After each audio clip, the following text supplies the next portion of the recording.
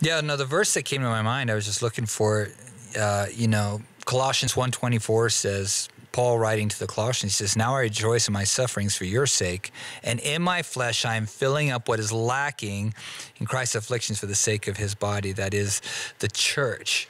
And all that you have just described kind of adds so much weight to, to the, the, that that phrase. You know, the, church of which I am a minister according to the stewardship from from God that was given to me for you to make the word of God fully known, the mystery hidden for ages and generations, but now revealed to the saints. It just kind of gives you that idea that how much Paul was dedicated to the ministry of the gospel.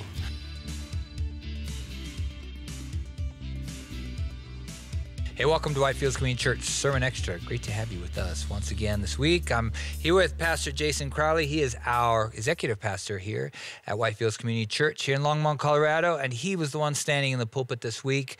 And uh, we were in Second Corinthians chapter 11, looking, uh, starting verse 16 and going through the end of the chapter. And so if you missed any of that, you want to get over to whitefieldschurch.com and you can download it there or YouTube, Facebook, or any of your favorite streaming platforms. You can find it up there. And if you would, you know, please like, subscribe. You're watching this on YouTube right now. Just click the subscribe button.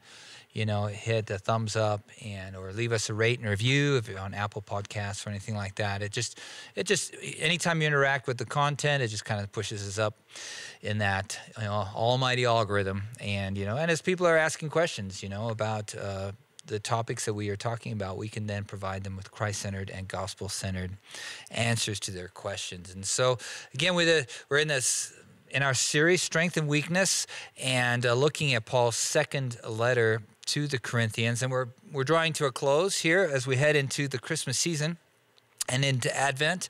And here in chapter 11, we're looking at the last 16, uh, uh starting verse 16 through the end. And, and as you said, there was a, a a couple things uh, that you know there's a lot to go in here, and you only have so much time on a Sunday morning really to cover all of this. And this is what we're here for, and these kind of sermon extras is to kind of maybe dive into some things that, you know, get into the weeds with some of these uh, questions or, or, or, or, things that are happening in the passage uh, that you can't include necessarily on a Sunday morning. And so we just kind of wanted to do that today as part of our sermon extra. And that was just kind of look at, you know, kind of starting in verse 24 when when Paul's kind of talking about the things that he went through. Uh, you know, he begins there. He says, "Well, you know, are they Hebrews? I am a Hebrew. Are they Israelites? So am I. Are they offspring of Abraham? Of course, you know. Uh, but then he starts to deal with some of the things, you know, that he had to go through, of which these super apostles would have considered him weak. And so we just want to kind of dive into that there. So, um, you know, kind of starting there with you know, the receiving 40 lashes less one at the hands of the Jews. Yeah, there's so much that he went through that can really kind of, uh, if we understand what he went through, we can really kind of understand a lot more of the picture. Uh, of what's going on, and yeah, we can start just dig in there. You know, the the three times he uh, actually at the the beginning let's see 24 five times i received at the hands of the jews 40 lashes minus one. That really comes from the book of deuteronomy. That was a a, a punishment that was reserved for kind of the worst of the worst disciplines uh, or punishments that they could mete out. And um, there was uh, I can't remember the name. Uh, uh, one of the uh, early historians, uh, just uh, Justinian, I believe it was, uh, said that they re- would reserve that. It was the most despicable punishment that the Jews would do. And that's kind of how it was understood. Yeah, because they weren't allowed to put people to death. So that this right. is kind of their, you know, this is the max. You know? Yeah, yeah. So. Four, they believed uh, 40 lashes would put somebody to death, and or anything more than 40.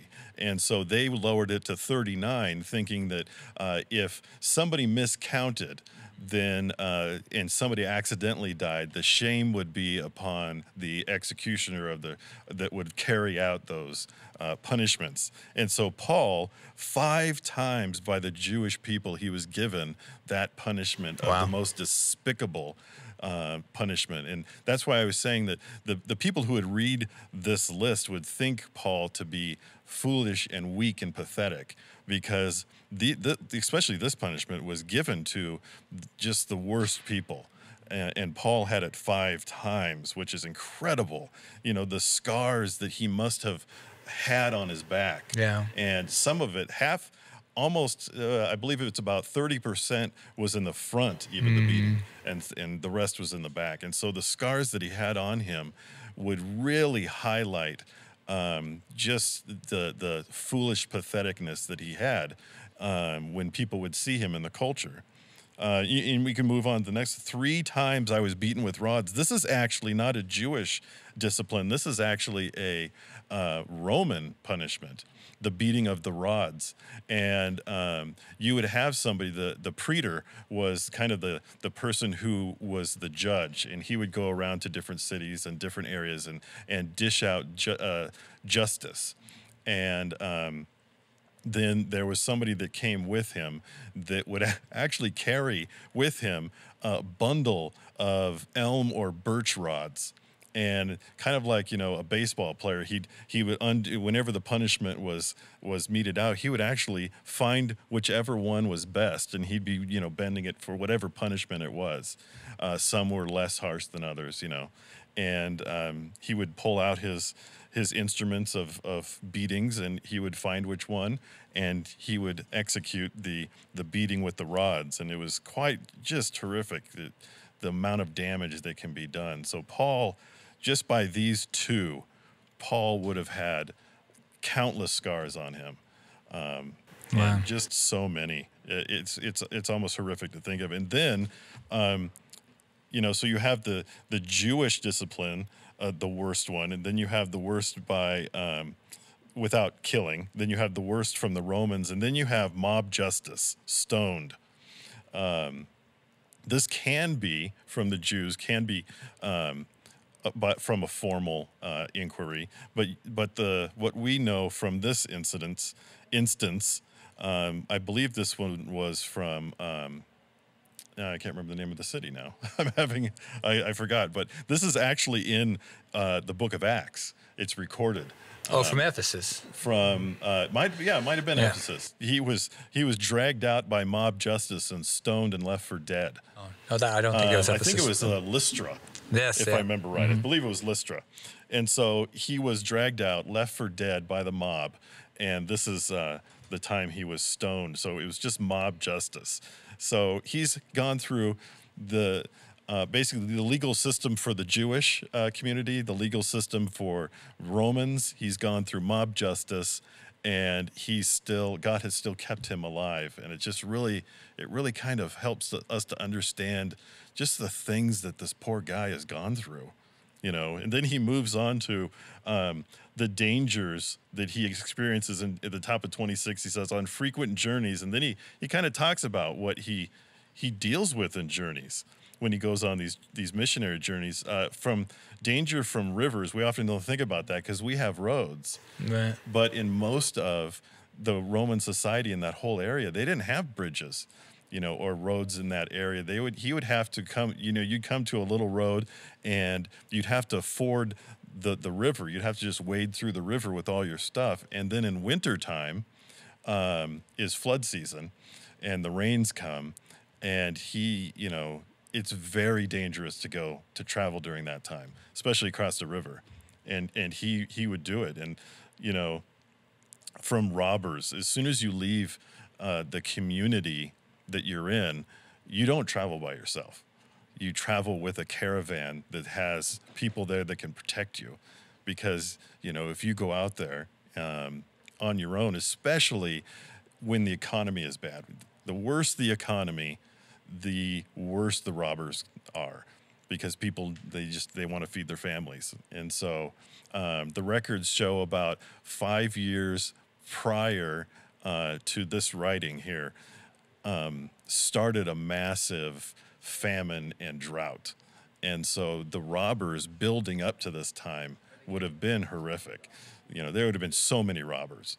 Uh, and so he's talking from experience. I, I you know he doesn't say how many times he was robbed but i would imagine quite, quite a few times he probably you know danger from his own people danger from the gentiles. So jews and gentiles danger danger in the city and danger in the wilderness so you know there's that's really the only thing you have you have in cities and you have outside of cities. They didn't really have suburbs back then. Right. So you end up getting, um, he's experienced danger pretty much everywhere he goes.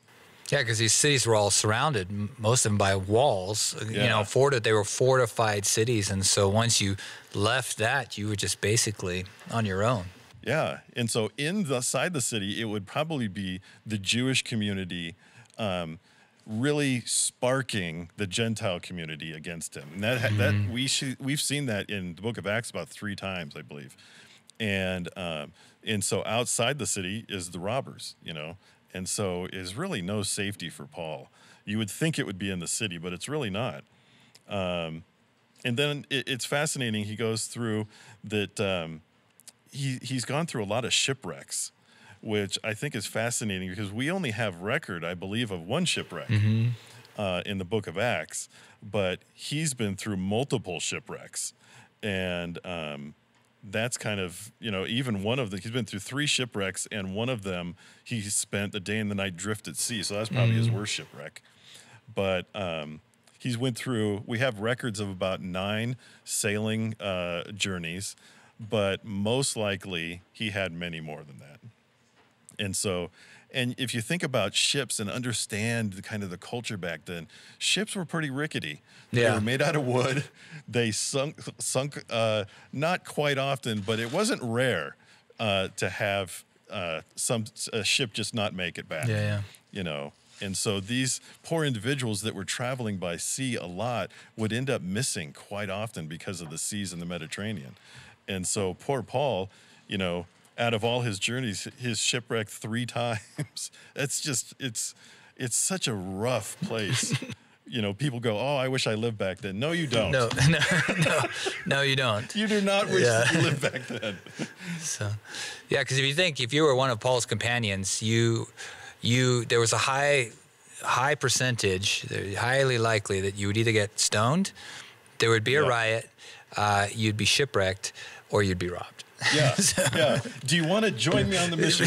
Yeah. No, I'm good. Thank There's you. a high percentage that one of these four things is going to happen. You know. Yeah, So. yeah. Odds are, yeah. Some if you travel with Paul, that was going to happen at least once a month, maybe two. Yeah. And uh, yeah, I don't know how he got people to travel with him, Yeah. but he did. And and it even gets where he he um uh it says in verse 27 in toils and hardships that's kind of the what he's going to be talking about. And then he says many sleepless nights. So he's probably um tra- this isn't really stress related because that's in verse 29 so sleepless night he's probably traveling. Yeah. um, he's probably working to all hours. Uh, if you remember some of the stories in in um, Acts and also in through his letters, he would uh, often stay up late teaching all through the night uh, to these individuals who had to work during the day, and sometimes he was teaching during the day. Uh, it's recorded, and he would stay up late at night doing tent making to m- earn himself a living because he just didn't have money so you know he was putting in all hours in the mission field it wasn't regular hours you know nine to five for paul which really gives us a great understanding of his life that but even though he went through that and even though he had to um, pay for a lot of what because he didn't want to be a burden so he ended up doing tent making and everything it says he still went hungry and thirsty often without food uh, in the cold so he slept in the cold exposure this is an interesting word uh, in the cold and exposure. Exposure means naked. So he didn't have clothes sometimes, probably from shipwrecks, robberies, um, you know, beating, stonings. His clothes would get ripped. Um, so you get this great picture of what Paul went through and what he lived. And um, if the more you understand the culture around these incidents, it's kind of like adding color to a black and white movie, you know, and, and better sound. You can just, it really comes to life. Um, so, Yeah, no, the verse that came to my mind, I was just looking for, uh, you know, Colossians 1.24 says, Paul writing to the Colossians, he says, Now I rejoice in my sufferings for your sake, and in my flesh I am filling up what is lacking in Christ's afflictions for the sake of his body, that is the church. And all that you have just described kind of adds so much weight to, to the, the, that that phrase. You know, the church of which I am a minister according to the stewardship from from God that was given to me for you to make the word of God fully known, the mystery hidden for ages and generations, but now revealed to the saints. It just kind of gives you that idea that how much Paul was dedicated to the ministry of the gospel and yeah. that he would go through all of this stuff. This was his stewardship. This was how much he was dedicated to, and this was, you know, in a sense, they called it weakness in him. You know, hence the, you know, the, the and he would say, no, this is my my strength and my weakness. The God is magnified and glorified through these afflictions that I'm going through, and that was the strength of his ministry for the for the yeah. gospel. It's just amazing thing to think about. You know, just as you listed those things, as that verse came to my mind in Colossians, like, okay, now I, I get what, what, Paul's getting at there. Yeah. You know, and uh, that's just amazing to think about that. You, you place that in context, you know, of all those things that he went through, and you could see people say, "Well, Paul, how come you come, you know?" Is God against you? And no, you know, it's no God's for me. God is with me, and and and and I'm for you. You know, and the gospel, and it grow, growing, bearing fruit in your lives. And this is what I'm willing to go through. You know, as as your father in the faith. So it's quite a testimony to. Mm-hmm to to those to those folks. And yeah, no, thank you for sharing that. I mean, just you know, that was just great bringing all of that out. You know, that you can't share on a Sunday morning, but we can share in this yeah. share in this context. And uh, so, if you guys enjoyed that, you know, again, thumbs up, like and subscribe. And uh, we are, as I said, we're getting close. We have a couple, couple more chapters left in this, and then we're looking forward to next year when we we head into our next.